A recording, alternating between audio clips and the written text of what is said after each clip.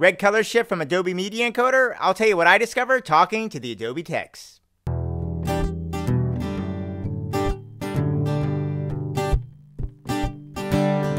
Okay, I recently came across a really strange and perplexing issue in Adobe Media Encoder, and that was the fact that I was getting a terrible red tint whenever I exported my files from Adobe Premiere into Adobe Media Encoder. I could export natively from Adobe Premiere and not have the red shift, but you could get a terrible, terrible red shift when I was doing Adobe Media Encoder. And I'll put a pullable file here just to show you in case you're encountering something similar to this. Now, if I come here in Adobe Premiere, you can see the two files that I have. You actually can see right here on the left, I have the same file exported from a, directly from Adobe Premiere, and the next one eh, exported from Media Encoder.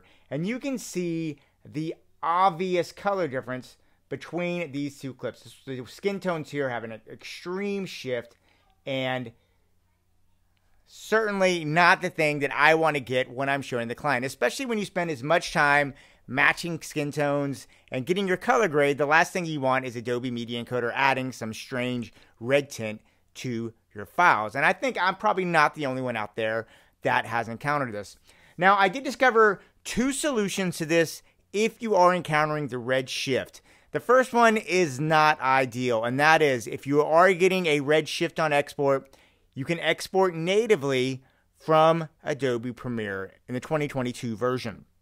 Now, this for me did get rid of all the color shifts, but it's not really practical because I don't want to be exporting from Adobe Premiere. I actually need to be working in Adobe Premiere while Media Encoder is in the background doing it, and I need to know that a Media Encoder is giving me color accurate files. So I got online to talk to the Adobe techs and actually spent about four hours talking with the Adobe techs. I'm going to show you what they told me to do, and it may help you and it may leave something to be desired. So let's dive into it and look at that. The first thing the Adobe Techs did tell me to do is they told me to come in here to my preferences on Adobe Premiere. I'm going to come into General, and they wanted me to go to Media.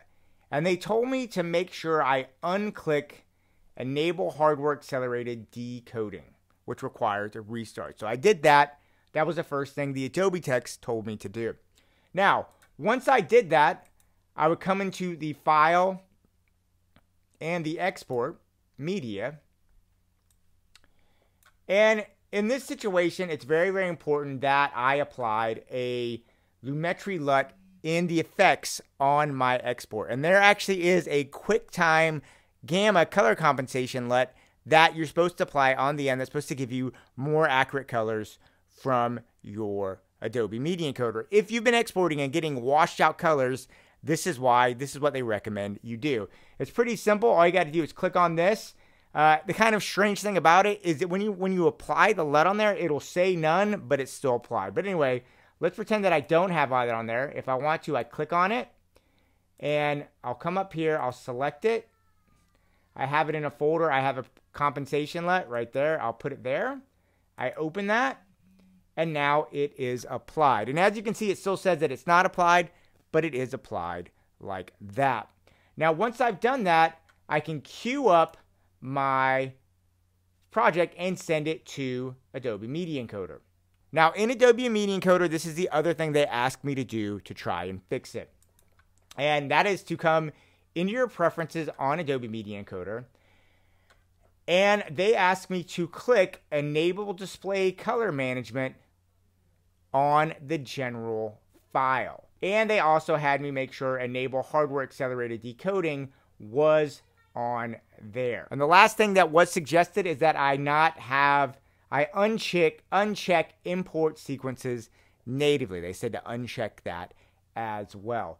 You hit OK then, and then you render out your file. Now I'm going to tell you that I did do this and I found that for some reason, this did fix the color shift on my Canon R5 files, but I was also shooting a second camera in there with a Panasonic GH5, and those colors were still getting a red shift.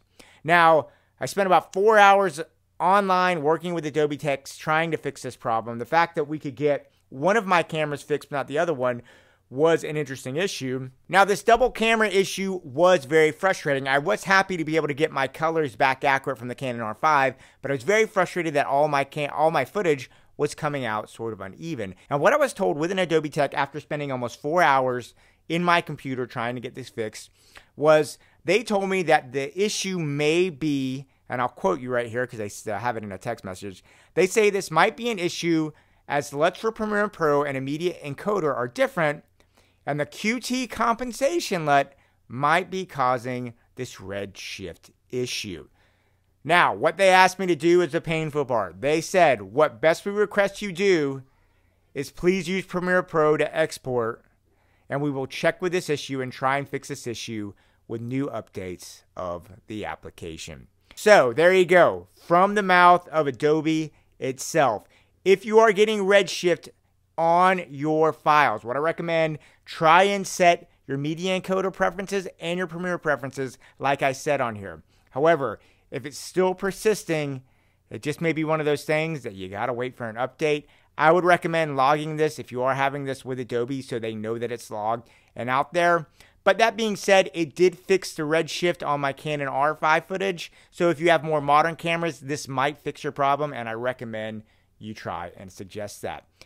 Anyway, I hope that was helpful, guys. I wish I could be a little more definitive on that, but that is what I found after four hours of messing with this. So go out there, keep on shooting. I'd love to hear if you have any comments about this. And yeah, yeah, guys, I'll talk to you soon.